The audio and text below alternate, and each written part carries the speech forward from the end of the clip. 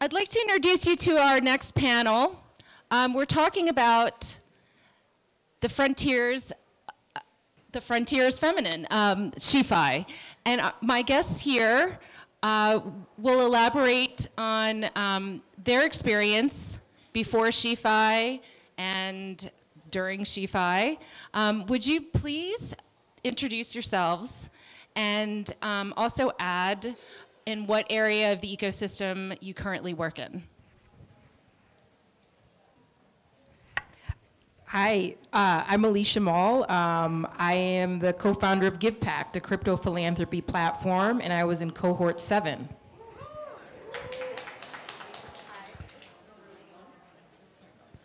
Hi, can everyone hear me? Yeah. So my name's Vane, short for Vanessa.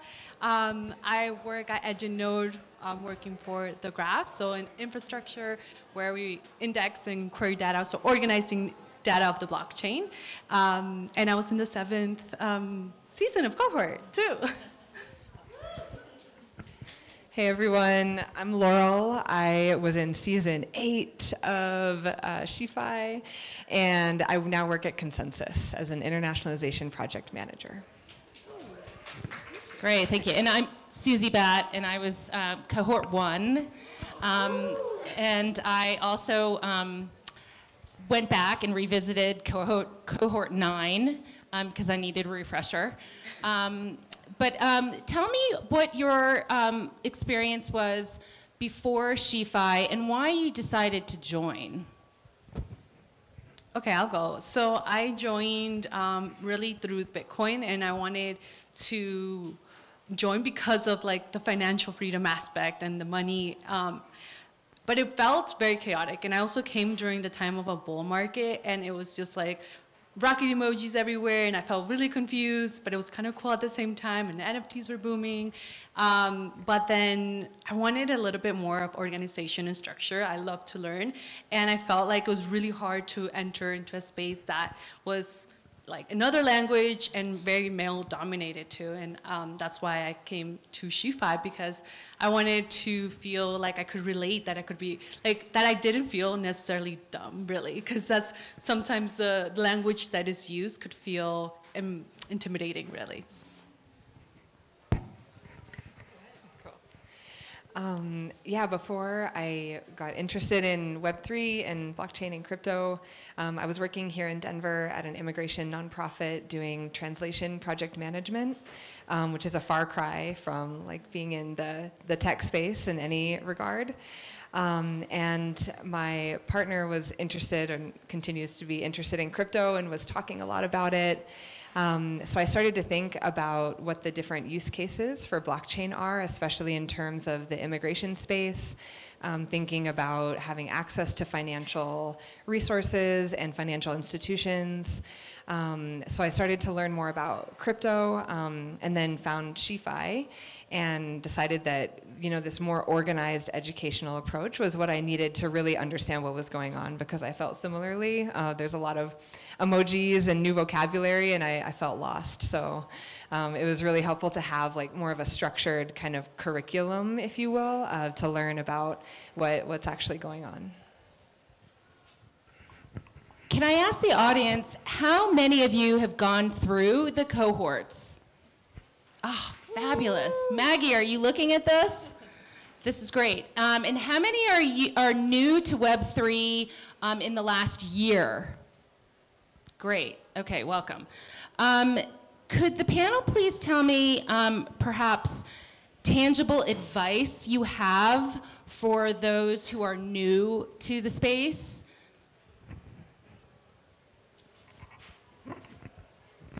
I think uh, test, test, community is everything. So often I say that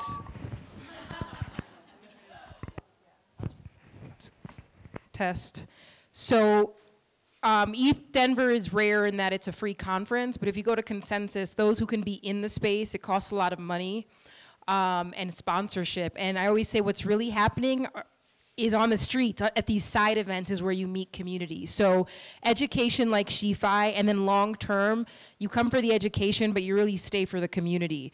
Um, so finding communities where you don't feel alone. And I think for me, SheFi has been part of my Web3 journey, Web3 Familia, um, and other spaces where I don't look unique, um, and I'm really part of a larger demographic trying to adopt blockchain.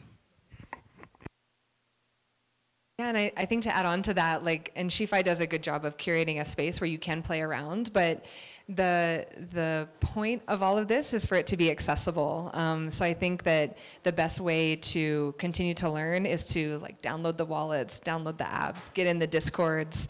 It can become overwhelming, but the key is to kind of find your way into spaces that are interesting or where there's like jokes happening that you find interesting. I think that's a good way to like sense that you're in the right place. So just playing around, I think, is has been the most valuable thing for me. Yeah, I, echoing really what bo- you both have said. But one thing that I say is um, just reaching out to people. I feel like I did that because I thought something they posted was cool or what they shared, and I you do it genuinely, but then you never know also what it leads to. So just like being just just giving good feedback. People love to hear that about themselves, and um, it's really just cool to just share, and then you never know how it connects you. Hello. Could you um, please um, talk a little bit about what opportunities you feel are evolving or growing in Web3 for women? And maybe some skills that are transferable into the space. Um, you mentioned you came from um, uh, immigration policy background. I mean, that seems like a very tangential leap into Web3, but um, obviously you landed really on your feet and with ConsenSys, which is our me and Maggie's alma mater. Um, but I, you know, tell us a little bit how um, these opportunities, um, how you see these opportunities growing for women. Yeah, I'd be interested to, to hear this from both of you as well. But I think that as there become uh, more women in the space, it provides more entry points for other women into the space. So um, for example, I was working as a translation project manager at my previous role, which was a nonprofit. Um, and I didn't know that that role could translate into Web3 at all. Um, but it does, because the way that we make this technology accessible is by making it available in other languages and to other regions of the world, and making sure that it makes sense in the context of other people's realities. So I think that a key I hope this is answering the question, but I think a key like um, note is just to figure out how the skills that you already have been developing and the things that you're already interested in can translate to this other space because they absolutely do. It's just a matter of finding the people that know how or can help you figure out how. Um, I also come from the nonprofit space, so you know it's not that tangentially different. We believe that Web3 technology, I believe that nonprofits, those working at the center of crises, should have the best technology, and that's why I, am doing what I'm doing. Um, number one, I do see that many of the women who I've met in executive positions or mid management have all graduated from SheFi. So, step one, take that course. Um, Ma- uh, we were Maggie and I were did an article for CoinDesk and we talked. It was very much like women are building, but they're not getting funding. So we are a growing demographic of shareholders. As are Black and Latino people, we're like 40% of the shareholders in the U.S. But as was mentioned before, we still get 2% of the pie. Um, so I think adoption is key, and then taking leadership roles as founders and as, as executives is going to be um, the role for us. I think it's so early that even if you're two years into crypto, you're still two years ahead of someone who has no idea what a Bitcoin um, is. So we're very early, and I think right now it's about reading, writing, getting out to these events. I live in New York and try to go to at least one event a week um, to meet folks uh, and move and shake. So there's plenty of room for us. We are shareholders. Um, we are investors, and um, let's let's feel like we're just as tall as the tallest man in the room. Where do you each get your Web3 intel? And don't just say crypto Twitter. Like, who do you, um, you know, what platforms, where are you um, trying out new uh, dApps? Um, who are you talking to? What are you hoping to get out of ETH Denver? And what are you excited to see there? I'll go. So um, there's a few people like Aubrey, Boys Club, Meltem. I love following them and kind of like go and see what they like, what tweets they like, and kind of go from there. Also, um, Tegan from Edge Note as well. I love following her and her content is also very relatable. Um, but Bowtied Bull as well, I follow their Substack and read because I, I feel like they provide really good information. So I think those would be my go-to. Yeah, I also like um, the Boys Club podcast. I think they do a really good job of just staying up to date of what's happening in the crypto ecosystem, and I appreciate the just the like presentation of the information.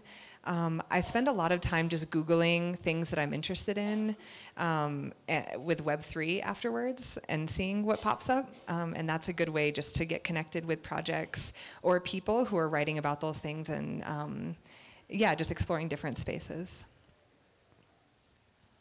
Next to NPR um, for global news, um, I like, where are you, mother?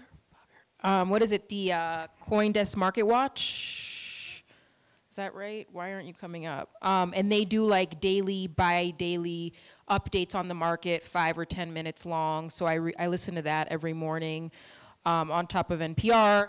Uh, Boys Club newsletter is great. Um, a little bit nerdier and long form podcast is um, uh, what is it? A border permissionless. Um, it's very male heavy, but they are at the forefront of uh, what's going on. Um, so that's another really wonky one uh, that I that I listen to. And um, GivePact does uh, newsletters every week at the intersection of uh, social impact and Web3. So would love to have you guys on. Um, I'll have to add Infinite Jungle. It just started. Um, Christine Kim from Galaxy um, breaks down all of the um, all core developer calls and into like things, words that you can actually understand and um, implement in, you know, your Google searches to like dig deeper. Um, but I want to hand off the mic to the audience uh, in the hopes that you have some questions um, for our panelists because uh, maybe in a, less than a year's time, you will be on the stage talking about where you landed in your new Web3 role, um, and hopefully you'll bring five people behind you um, when you do make that step. So if you have a question or would like to share a story about how SheFi has supported you, um, we would love to hear it, and it will be more inspiring than you actually think because um, we're all uh, we all started somewhere and have found such value in this community um, that we're still here. Great, please.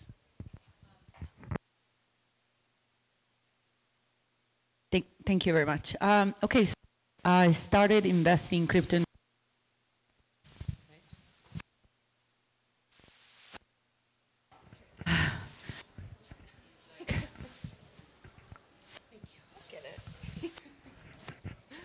Test? Okay, perfect. So I started investing in crypto in 2016. I founded my um, woman project to onboard more women into crypto in 2020, which didn't go very well. I didn't learn, uh, didn't know much about funding and, and so on, but it was a great learning experience. And through, you know, the, all this time I've been following SheFi, and I really liked how uh, Maggie breaks down concepts and, you know, she uh, does content online and teaches them. But I never did the actual um, course. So I was speaking with uh, Evelyn from Disco, and she was uh, telling me, you know, I would like to get some foundations, and she recommended me to the course. Uh, sorry. So um, I am in the crypto space for a while, right?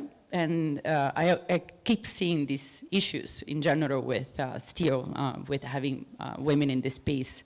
And there are more educational platforms, but um, it's always difficult to stay updated, right? There is a, the, move, the, the, the space goes so fast, and especially when you hit niches like zero knowledge proof it's so complicated and difficult. And you know, I don't have time to go really go deep into certain concepts because it will take forever.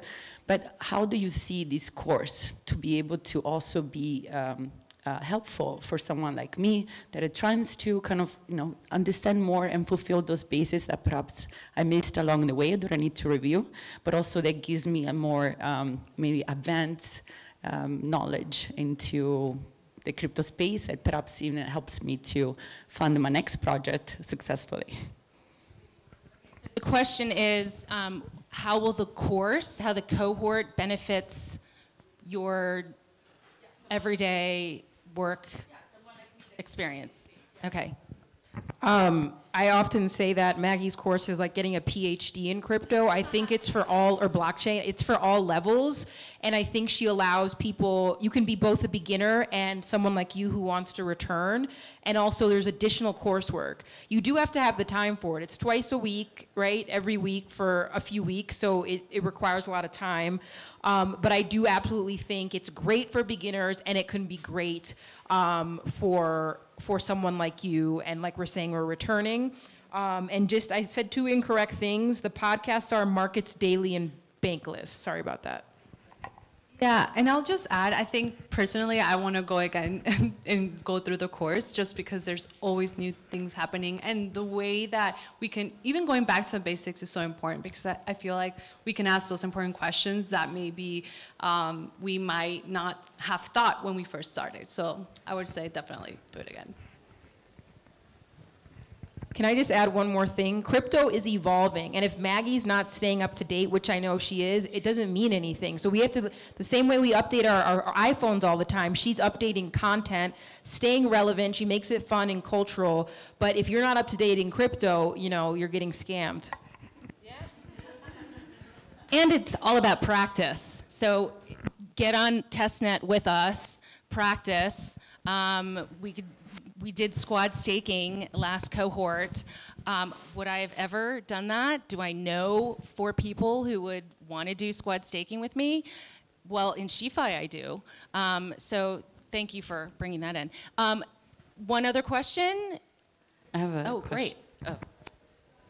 Um, so my question is uh, for all of you. Uh, I was part of SheFi season nine, and I thought it was really impactful. I studied computer science and never saw a teacher like Maggie, so it was really inspiring to see somebody that I can connect with and really learn from.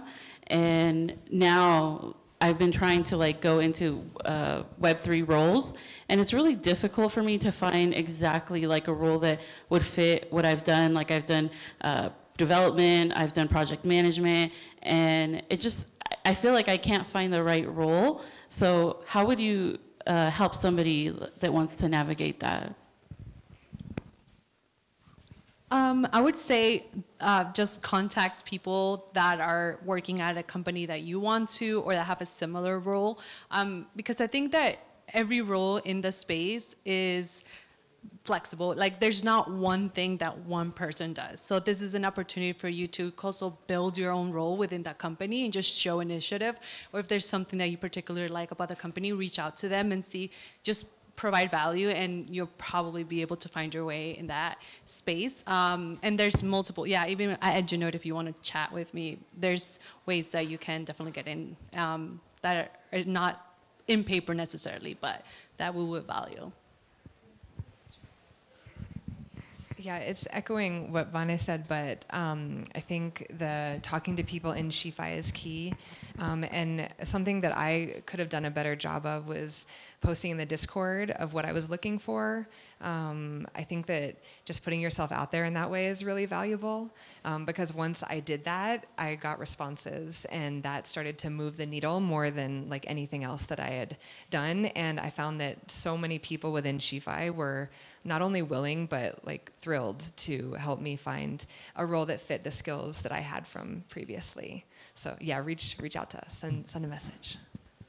Also add that start where you are. What projects are animate you, or what really um, brings you joy or lights you up? Whether it's a protocol or a DApp or someone who you admire and who you want to work for, start there. Work on you know your GitHub repo, um, if you're coding or your social media or trying out these Web3 dApps and get yourself like really um, knowledgeable and see what you really what projects you want to work on and then you just like stalk them at conferences uh, there was another hand yes of course Hi, it's just me. Uh, I just want to kind of, it's not really a question, it's that I would love. Uh, the myth is that like you could study enough to get to this point where all of a sudden you're an expert in crypto. I've been in the crypto space for seven years since 2017, and I've known a lot of people in this space. You don't ever get to like a utopia spot where you know everything. You just get to be really passionate about something within the crypto space. And like, I would never want you to hold yourself back from moving forward because you think like you're supposed to get to this magic place that doesn't exist. So just move past that, move forward, and like attempt to go the direction you want to go, and then like keep learning. great uh, it's almost like get out of your own way right um, we'll wrap up unless there's um, another yes please layla Okay, hi, I'm Layla, and I don't have a question necessarily, but just, you said, a story um, or thoughts. So I loved what you all had to say, and it's so cool seeing where you're at. And I just just wanted to say it's really cool being in a space like this, um, like SheFi, and um, I contribute to Boys Club DAO, and um, like sometimes I think crypto is like so far ahead because it does try to be very diverse. But then met a company last night where they said they have 30 people and they don't have any women, and we were like, what? And then that conversation ended quickly because it got really awkward. but like, I don't know, it's just cool seeing like women here with, I saw two babies and like I can feel comfortable being like pregnant and having my third girl. And so it's like, yeah, I'm just getting emotional. Like, uh, hormones. g-fire Yeah, yeah, future she fire. So it's just like, it's just really cool because I feel like all of us probably saw someone on the stage that represented us, and that's just like not the case all the time. So just more of a thank you. That's a great note to end, and I want to thank panelists here for um, being part of the community and for contributing still and um, being friends. Yeah. Thank you. Thank you. And